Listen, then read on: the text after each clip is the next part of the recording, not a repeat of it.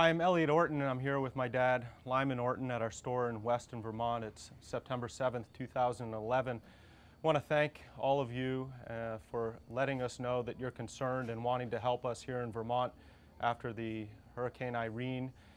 We want to let you know that folks are banding together and the spirit of Vermont could never be stronger, that neighbors are helping neighbors, and that businesses are opening again, and that foliage will happen here in Vermont, and we're ready for you.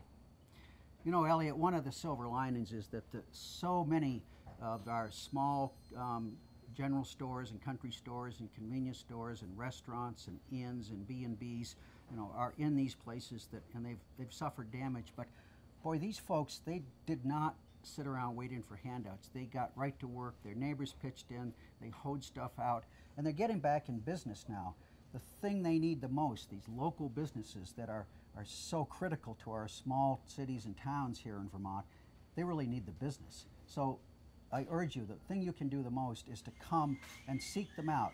The storefronts that you see, and some of them may not look polished right now because they've been battered a bit, but the storekeepers are there and they're getting their stock back on the shelves and, and they need your business. So come and help them out, seek them out, go around the back roads. You'll find your way. Come and enjoy Vermont this foliage season. Thanks. Look forward to seeing you.